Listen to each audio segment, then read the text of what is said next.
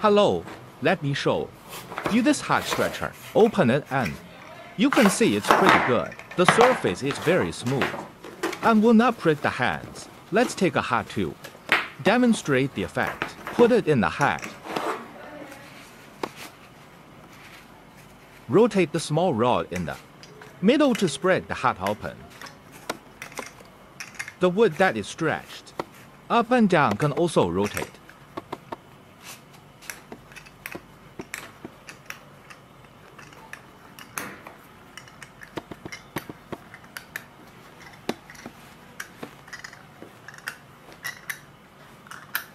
Tighten it to the appropriate position.